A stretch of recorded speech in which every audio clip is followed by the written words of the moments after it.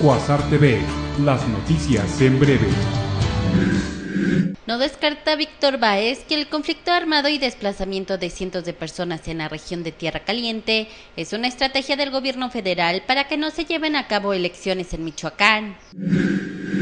De 731 mil pesos es el tope de campaña para los ocho precandidatos del PRD en la precampaña interna autorizada por el Instituto Electoral de Michoacán y que define el 26 de junio en elección abierta con un llamado a emprender una precampaña de proposiciones y de ideas, donde impere la lógica de las propuestas, la aspirante a la candidatura del PRD a la gubernatura de Michoacán, Fabiola Alanis Sámano, inició su precampaña en un recorrido por los municipios de Tepalcatepec, Mújica y Parácuaro. Mañana inicia el registro para precandidatos a gobernador en el Partido Revolucionario Institucional. Fausto Vallejo aún no define fecha para inscribirse.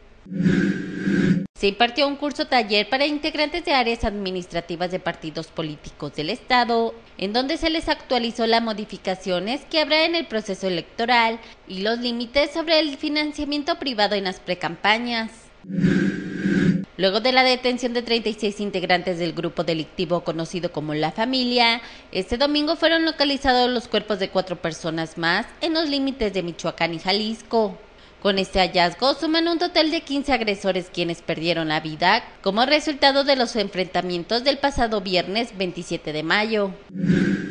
La Asociación de Hoteles y Moteles dio a conocer que sigue a la baja la afluencia turística.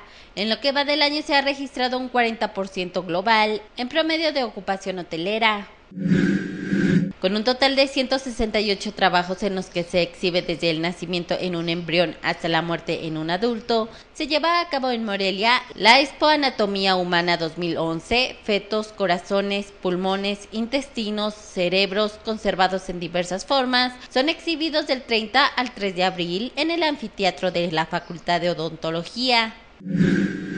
Dos mujeres fueron asesinadas a tiros la madrugada de este lunes en el primer cuadro del centro de la ciudad. Las víctimas llevaron por nombre Albertina Isabel López Chávez de 22 años de edad e Isabel Chávez Ferreira de 46 años.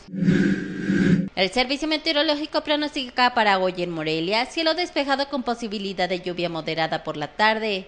La temperatura irá de los 15 grados como mínima a los 35 como máxima.